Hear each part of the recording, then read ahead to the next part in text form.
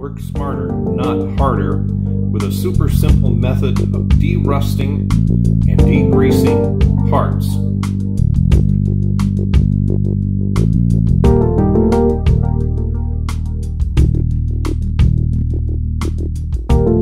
Now I'm going to show you how to go for the neat results on the right when starting with the items on the left in a few simple steps showing you the before and the after and the apparatus we use to do it. Here we have a rubber tumbler, rock tumbler. See it's full of rocks of all things because that's part of what we're going to use to do this little trick method of doing this.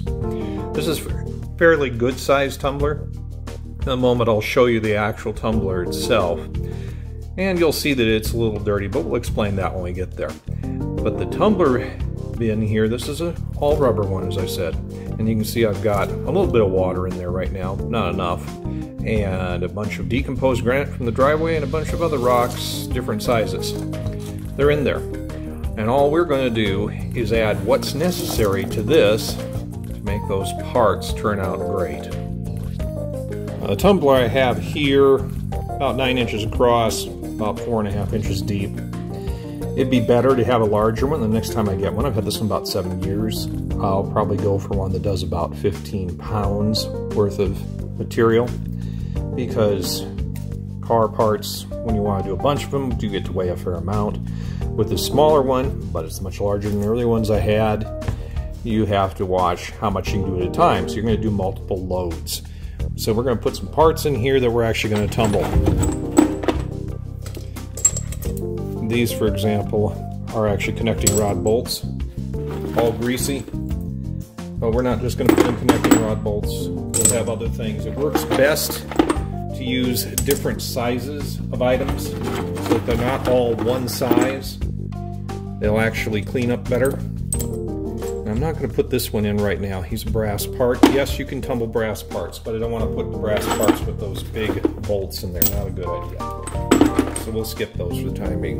Big washer. Some of these, as you can see, are also quite rusty. That's actually very rusty. A lot of these are from the internals on a Kissel 895 engine. And so they're just terribly greasy and dirty. And there are other ways to do that, but I don't want to work that hard. So we'll put a bunch of parts in here. As you can see, I am putting in smaller pieces, some washers, etc. Now, I'll tumble all the stuff that comes off the car usually. Doesn't mean everything will ultimately be used. This is one way to find out if you got bad lock washers because they'll actually break in the process. And you just throw them away. Here's a part I want to get in here. This is the actual button off the end of the camshaft Here's another part that's interesting. This goes on a valve lifter assembly. I need to run that through. So that gives me a number of parts in here. And like I said, I'm not going to overload it. I'm going to put this bunch in because I'm using the big bolts. When you use big bolts, you want to put in less parts.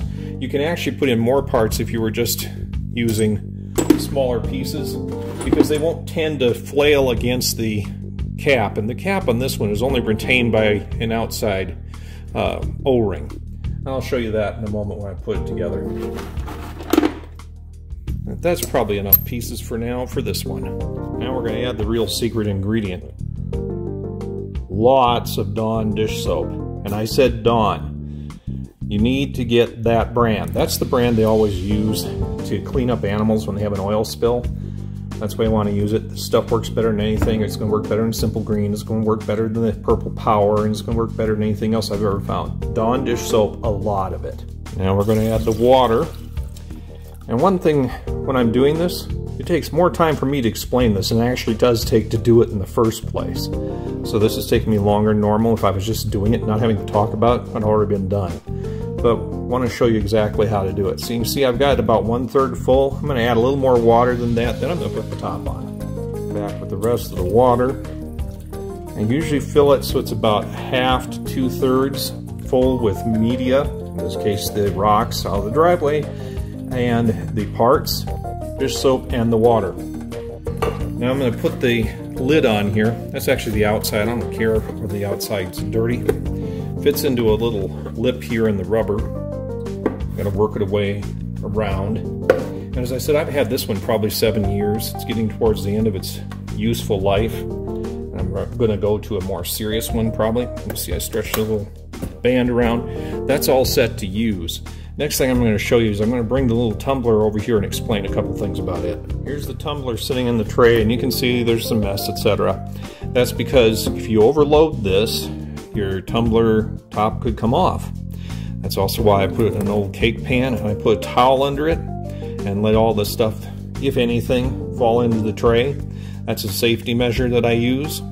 These little O-rings that are used to drive it, you can get a hold of those, they're not a big deal.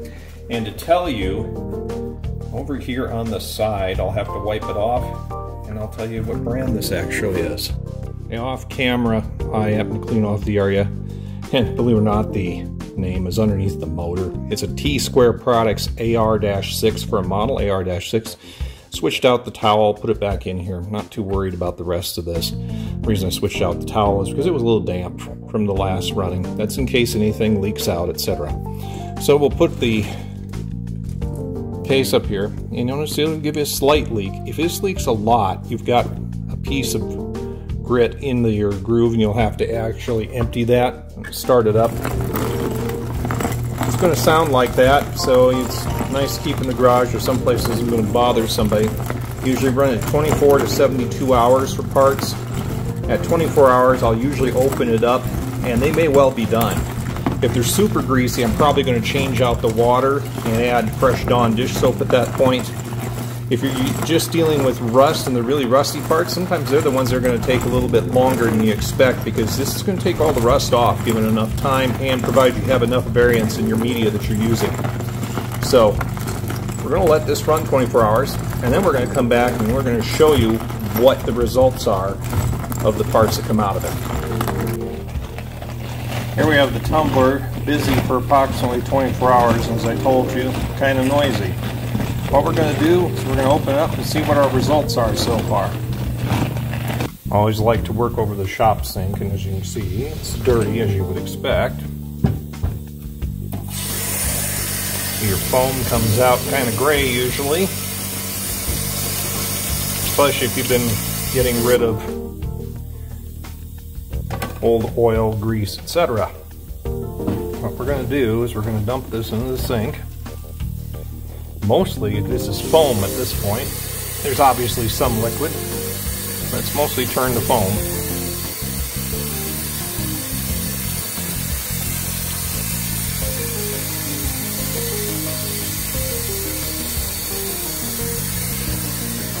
I'll take a fair amount of water, get rid of the foam and mess that we've got.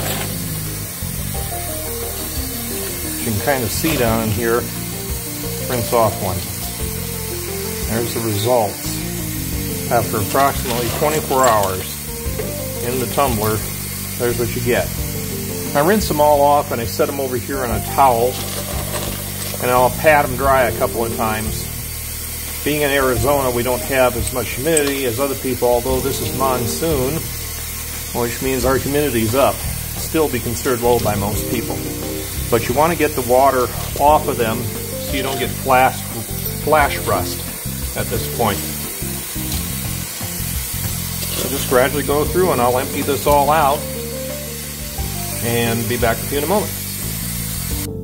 There they are, the finished parts. 24 hours in the tumbler. As I said, sometimes up to 72, depending on what you've got, how rusty, how dirty, how oily and sometimes I'll switch out the water with fresh water and fresh Dawn dish soap. Be sure you get them dried off. I've patted some of these a couple times. There's still some moisture I'm going to get off of them. Probably put them on another fresh towel so they can dry. It is the darn easiest way you're going to find a cleaning parts.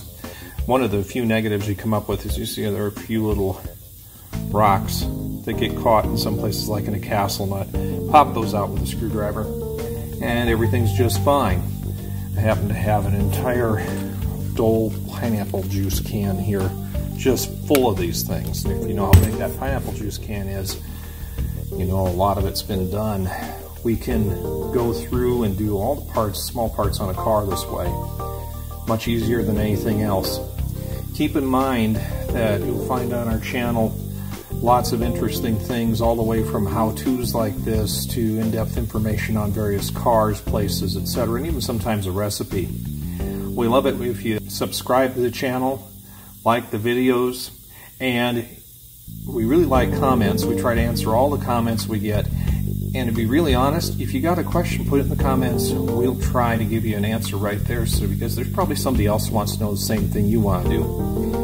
Keep us in mind for future, more interesting videos to come. Bye for now.